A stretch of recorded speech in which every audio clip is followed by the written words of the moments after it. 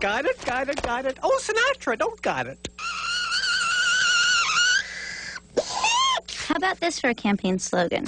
You snooze, you lose. So don't sleep through this election. Vote for Brendan Small for president of the Student Council. It's it's good. Thanks. But, you know, a campaign slogan should be something short and catchy like uh, Nixon's the one or uh, I like Ike or, you know, something like all right, that. all right, I know. get it, I get it. How about this? Yeah. Vote for Brendan Small for student government president because no job is too big for the boy they call Small. Brendan Small, that is. So vote for him for president That's of better. the student council. Yeah, that's good. You know, uh, hey, how's the poster coming, Jason? I drew a train. And then I drew my mom in the corner. How is that going to get Brendan elected? Oh, I don't know. Well, it looks good. Thanks. Um, Brenda, Yeah? how about this for a slogan? Think big, vote small. Uh, I don't know. So the playground issue almost became my Waterloo. Oh, man, I hear you. But with some good old-fashioned 11th hour politicking, I was able to secure my legacy. You know, one time I tried to secure my legacy, but it got away. got away. Yeah.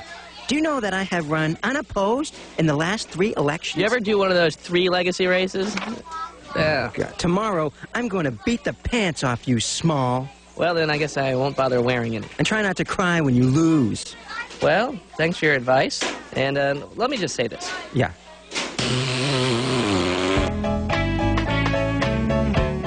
Now, don't misunderstand me. Adjectives are good, but one, two, uh, eight adjectives in a row are more than enough to describe some little red boat. It's a big green boat. Whatever, you get my point. Excuse me, Miss Small. Do you think we could have a break now? I'm hungry. Actually, I was hoping to get through most of these papers first. Can you wait until then, Susan? I'm Julie. I'm Susan. Can I take a break? Listen, I really want to plow through these papers. A break Come would on. be nice. would be Please. I mean, we're supposed to get a break anyway. Come I mean, on. why not just break. take it a little on. bit? What? What is it with you people? What, what is this, some sort of a joke? Every time it's always something. It's always whining, whining, whining. All you want to do is go outside and smoke your cigarettes. I know that's what some of you do, and you should quit because they're bad for you. Fine, take your little break. But remember this I'll be damned if I'm going to waste my time on a bunch of smokers. Surprise! Guess what? You are going to nicer touch all them on. Really? Me? Nicest. Wow, that's, uh, that's really. Wow. Hey, somebody got a sign for this.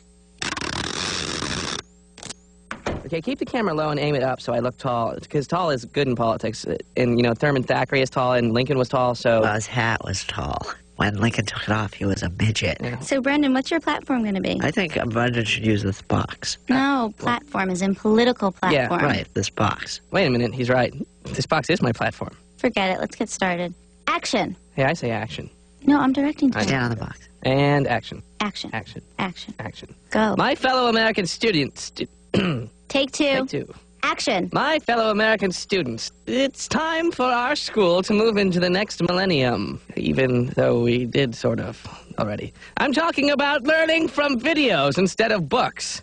Books can hurt your eyes. Friends, has this ever happened to you? I can't read anymore. The words burn my eyes. Please read the top line, sir. I can't. I can't read anymore. Just as I thought. You are reading too much. You'll have to wear glasses, and people will make fun of you for the rest of your life. They'll call you Four Eyes and Idiot.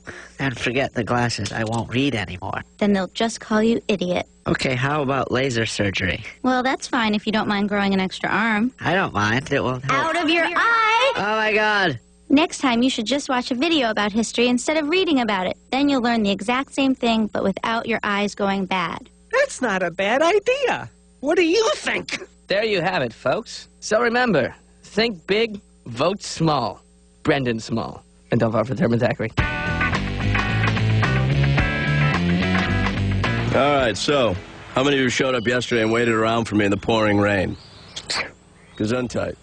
All right, so pretty much everybody. Good. Well, the reason I didn't make it was I was out very late the night before, all right? Doing what? Explanation over. What were you doing, Coach McGuirk? Well, it looks like I got a heckler. What? All right, first, uh, lady, let me remove my brain so we can uh, start as equals. Hey, Hey, uh, nice outfit. Some uh, motel somewhere is missing a shower curtain, huh? Coach. Who does your hair, Picasso? Huh? Coach. Who does it? Honestly, who does your hair, lady? My dad.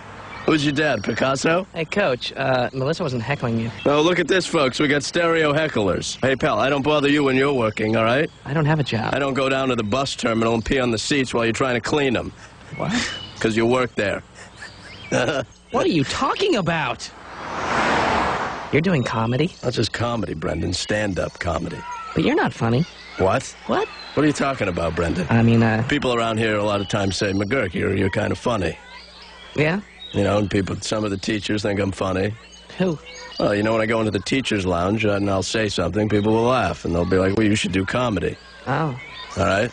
I have weird observations about things right. that are meaningful, Uh-huh. and uh, I need to get them out there. Yeah, um, You know, I heard it was also a good way to get things off your chest. You know, I got a lot of anger, Brendan. yeah, And I need to channel that anger. yeah, Usually I just have a few drinks in my apartment, Yeah. start yelling, and then pass out. Yeah. Well, this is a way to bring that energy from my apartment to the public, to the people. Uh, well, what about soccer and your actual job?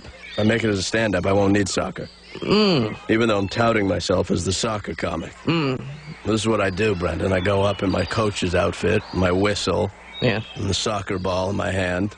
I set up a goal. uh-huh. It's pretty funny, isn't it? I would have to see it. Oh, well, Brendan, the whole point is, is that it's out of the element. You know, you're used to seeing me here because I'm, I'm, I am a soccer coach.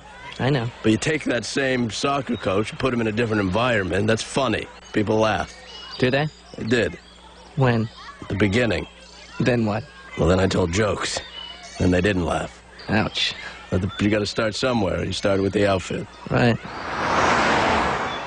Da da da da da da da da da da Brendan. Hail, future president. Shannon, uh, hi, uh, um, what are you, what are you? Relax. I just wanted to come by and wish you luck in tomorrow's election. I think you're gonna beat Thurman Thackeray as I would.